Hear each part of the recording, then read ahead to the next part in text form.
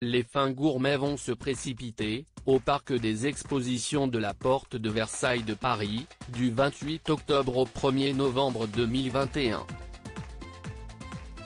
Le Salon du Chocolat, le grand événement mondial dédié aux joies folles du cacao, est de retour pour une 26e édition mémorable et riche en rebondissements. Et comme le veut la tradition, les festivités se sont ouvertes avec une performance grandiose, véritable plaisir des yeux et plaisir des papilles, un défilé de robes gourmandes en faveur de l'association Mécénat Chirurgie Cardiaque.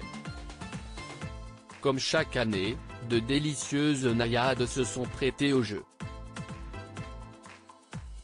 Des tenues comestibles Ne serait-ce qu'un parti? Et pourquoi pas?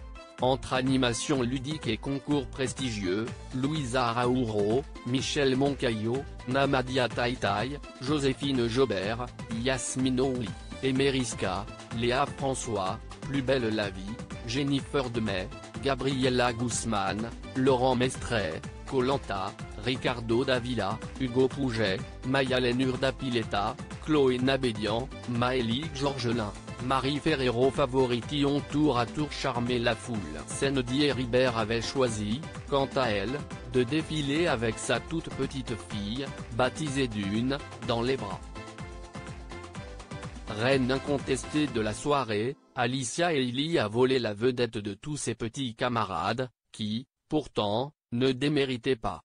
Mais que voulez-vous, notre ancienne Miss France 2017 a l'habitude des catwalks et elle portait une création exclusive très transparente de la designer textile Chimende.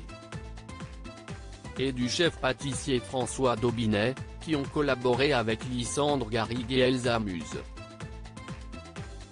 Ce modèle, inspiré des plus belles créations de Thierry Mugler, actuellement à l'honneur au Musée des Arts Décoratifs de Paris, où Nancy Dojaka, a notamment nécessité la réalisation de 1200 paillettes de chocolat. Pas étonnant, donc, que le résultat ait l'air si savoureux.